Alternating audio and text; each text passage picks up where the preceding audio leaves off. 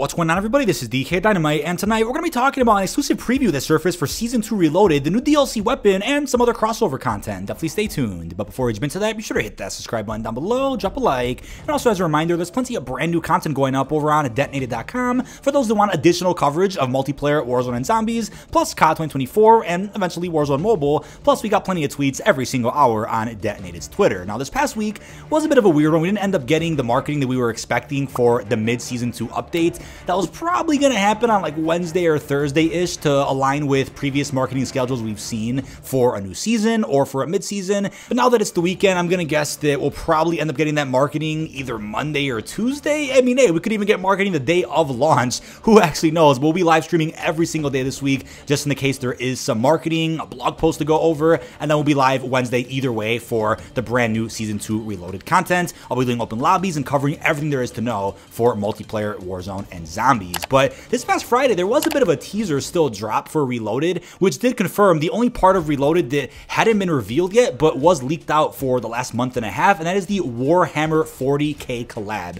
over with Call of Duty. So just about everything for Reloaded has already been revealed through the initial Season 2 blog post, but there's a bunch of info that I know I covered in some previous videos about a Warhammer crossover that hadn't even been teased yet, but as Call of Duty went ahead and posted here on Twitter, inspired by the Warhammer 40,000 universe, Space Marines, Sisters of Battle, and Astra Militarum skins and more are coming to Call of Duty Warzone and MW3. So, as we covered in a recent detonated post, as of now, what is known about the Warhammer collab is that we're getting at least three different operator skins, the Servo Skull finishing move, a camo XP event, and other various cosmetics. I know loading screens did surface a couple of months back, and we weren't sure what they were a part of, but it's like I mentioned before, for those that are fans of Warhammer, you're probably really excited about this, but Warhammer and Call of Duty are drastically different games. It's kind of an obscure collab for Call of Duty to do, but it's cool that they're doing it just for those out there that either know about the game or for those that didn't and can get accustomed with a property they may never have looked into before. So this is going to be a very unique crossover in comparison to ones we've gotten in the past for MW2 and 3.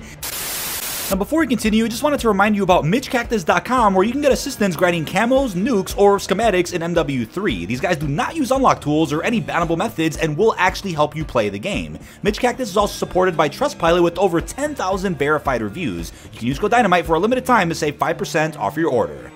But first off, with the XP Focus Challenge event, it'll be just like the one that's currently live in game right now with The Walking Dead. You gotta hit different XP milestones to unlock various themed cosmetics, and then by the end of all those milestones, there'll be one grand reward, which is gonna be a universal camo. Luckily, gameplay already surfaced of the blue steel camo, which is perfectly themed around Warhammer, of course. And yeah, on top of that, there's also some footage of different finishing moves that are definitely tied to the Warhammer collab. One of them is the Servo Skull one, which is clearly unfinished from the leaked footage, but I know data miners and leakers force loaded a lot of this content into their games. There's also footage of what appears to be a sword, or I guess we'll call it a chainsaw type of finisher that we're actually going to talk about in just a couple of minutes from now. You can clearly tell that someone's getting stabbed with a sword, but it has a chainsaw-like effect that's rattling their bodies, and you can see the vibration on the enemy there. So we'll get back to what that may mean in a second, but there's also the Juggermosh LTM, which we do need some more context about, which I'm sure is going to be in the Season 2 Reloaded blog post. It's probably going to drop in the next few days. They announced a bit of info about it a couple of weeks ago, but we still don't know that much about how Warhammer is going to be integrated with this LTM,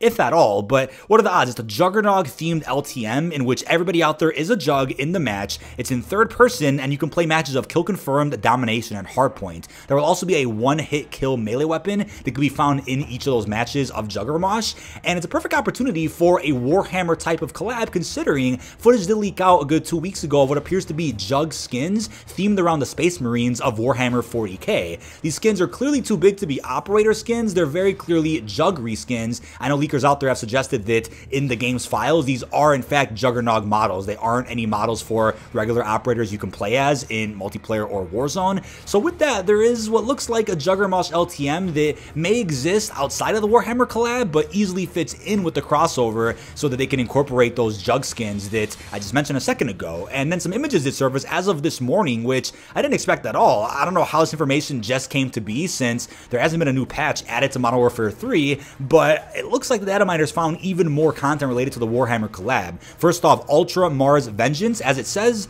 stand undaunted in the face of the enemy with this armor inspired by an Ultramarines lieutenant. That's clearly a jug skin, and you could see in that image he's holding a riot shield, which gameplay also surfaced for not too long ago, and it's probably tied to a Warhammer bundle that we'll get to in a second. If not, then I guess it's just going to be held by these Jug reskins in matches of Juggermosh or wherever you can play as these big Space Marine looking Jug suits. Let's see how that's going to end up being incorporated. But then we have gameplay of what appears to be the new Soulrender melee weapon that is coming with Season 2 Reloaded. I believe it'll be a part of the classified Battle Pass sector. We know in the recent Season 2 blog post, it does say the unlock requirement for this weapon is classified or redacted. Usually it says that when the weapon's going to be a part of the classified sector, which we know is going to unlock in just a couple of days from now. So what will happen is the classified sector will open on Wednesday at around 10 a.m. Pacific, and then what you can go ahead and do is a series of challenges to unlock various rewards like XP tokens, aftermarket parts, and then you'll then unlock the HVT, which is going to be the Soulrender weapon. You have a fifth challenge to do to get that sword unlocked, and then from there, you'll pretty much have five new rewards unlocked from that classified sector alone. That's how it's worked ever since Modern Warfare 2 Season 4, when they first introduced the classified Battle Pass sector.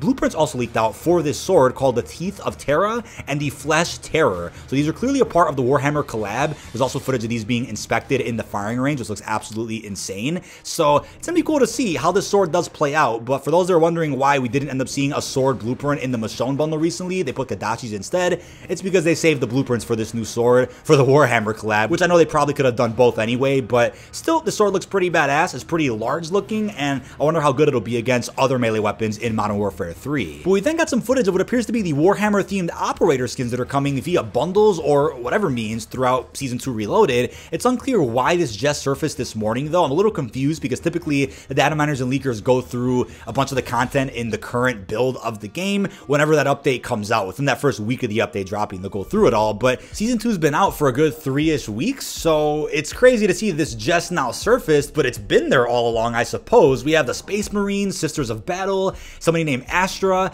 So this is probably the full list of the operator skins we're going to see as a part of this collab. Even if you guys don't know what Warhammer is, can't deny these aren't some cool looking outfits. If you guys care about buying cosmetics, then yeah, but even if you don't care about buying bundles or spending money on COD points, there still will be some free content to unlock via this collab. We have that Blue Steel Universal Camo. I believe the Jug skins will be free to use in that Juggermosh LTM, and then that sword could still be used even if you don't go ahead and buy the Warhammer bundles with those blueprints. You can still get the sword for free via the classified Battle Pass sector. So the skins definitely look badass. They're definitely uh, at the right scale in comparison to the Jug skins that are massive. They clearly couldn't be regular operator skins. But then lastly, there's also what appears to be some cosmetics for the cluster mine and even the trophy system. So one is called the Crab Bomb, and the other one is called Sergeant Squeaks. So if you're familiar with Warhammer, you probably know exactly what these things are. But yeah, I do believe the Warhammer theme bundles will end up coming with various cosmetics for these pieces of equipment or field upgrades. We've seen a couple of bundles do this now where you got a throwing knife skin or a skin for the barricade or for the thermite, a flashbang, even the smoke grenade. We've seen a couple of bundles, including Black Cell,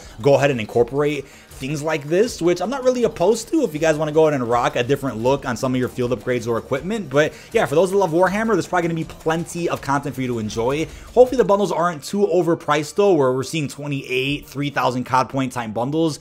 That's just a bit crazy, but yeah, there is a decent amount of Warhammer content coming that hadn't previously been announced in the Season 2 blog post or roadmap, so definitely expect some marketing for more of this in the next few days, which I'll be covering here on the channel, of course. But that is about it. This has been DK Dynamite. Leave our thoughts down below in the comment section. What are your thoughts on the brand new preview that surfaced earlier this morning for the Season 2 Reloaded Warhammer collab? I have a separate video on the way because even more did leak out for Reloaded, which I want to put in a separate video because this one is just about Warhammer, but leave your thoughts down below on the brand new Soulrender melee weapon and everything else we discussed. Really hope you've enjoyed, and peace out, everybody.